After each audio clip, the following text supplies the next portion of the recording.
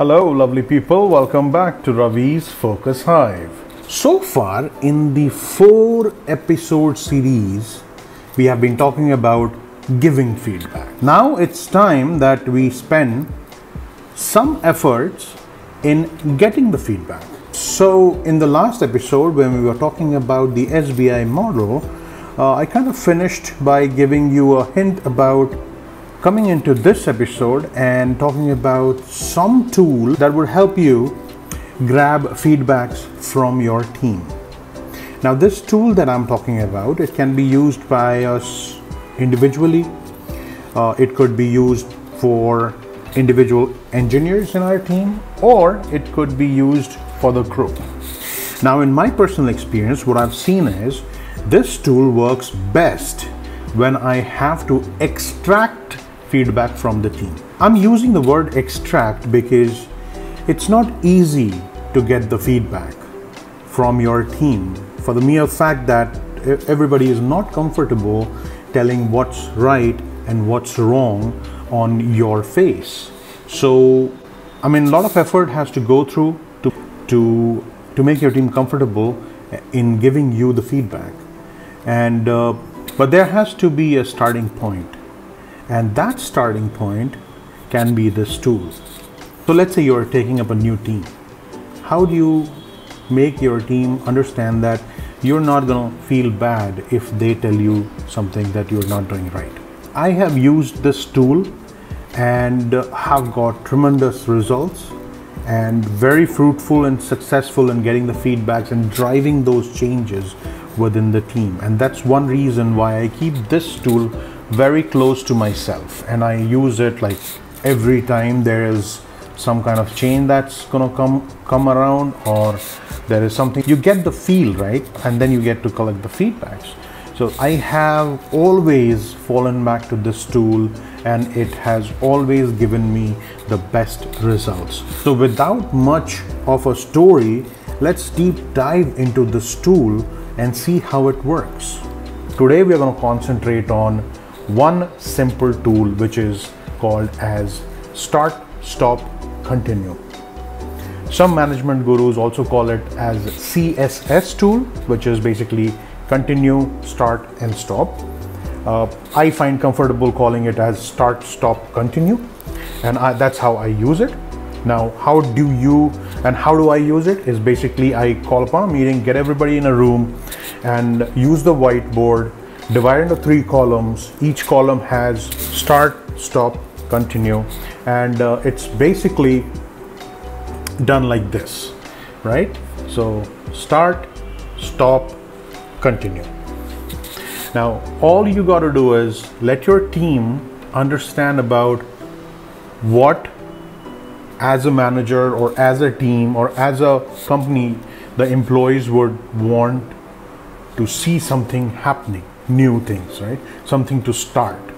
Or let's say you're not having a, a quarterly dayouts or whatever it could be, right? So the employees could come and say, these are the things that we should start. So you be the facilitator and let your team speak about and you just document and add everything in here you could also use uh, the sticky notes and let hand it over to everybody and let them uh, add it uh, write their viewpoints and then come in and stick it on the boards. But i find it easier and more interactive if you be the facilitator and you start writing it on the board. So you can get extract some perspectives as well. So you start writing on each column what you should start uh, what you should stop and what you should continue right? Start as in that's not happening something that's not happening within the team.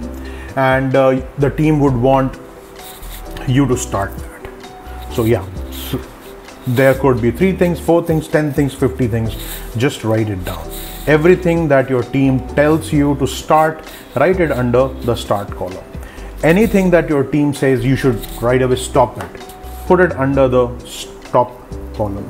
And anything that's working well everything's like everybody is liking it uh, it's yielding the results put it under the column called continue right so once you have charted all the tasks that are basically categorized within three categories start stop continue you have your actions what you have to do going forward right? You now know that you have to start certain things you should stop certain things and some things are working really well and you should continue doing that. So if if and with this you you get get all you get so much of feedback uh, because people start looking at a structure right? When you are doing this activity with your team they straight away look at a structure and see something meaningful happening immediately. And that gives them more comfort and confidence because you're not questioning them right? And okay i didn't say this earlier but i just want to ensure that i put this point across that you're not going to question anybody on anything that they say right? Because the moment you start questioning they stop. They, they will close. They will not talk. They will shut off. So you should not question them. Uh, just let them say whatever they are saying and you st- you just write it. You are there as a facilitator not someone who's going to decide anything not someone who's going to tell what is right what is wrong. You are not of that authority in that room you are just someone who's going to listen to the team and add everything in the board right? You are just going to fill these columns. That's it. That's your job in that room. Now let's say your team tells you that uh, let's stop doing the shift rotations right? There are so many things to talk about. You can't just stop it but stop yourself from questioning that. Just note it down in your team uh, in your column uh, of stop column just note it down. Right? No matter what uh, team says uh, we should have uh, we should start having uh, more of rnr fair enough. Under start column more of rnr uh, monthly meetings quick check-ins are beautiful. They're happening and, and everybody's liking it. Perfect. That's working well. Let's put it on the continue. We'll continue doing it. So when you start showing this kind of encouragement to your team they will open up more right so and they will they will start giving you more uh, actions that you can take to solve your uh, concerns and, and solve challenges that you see in your team and, and come up with great, great, great performance later on. Now, once you have your column full, uh, you've got a lot of items to uh, work on.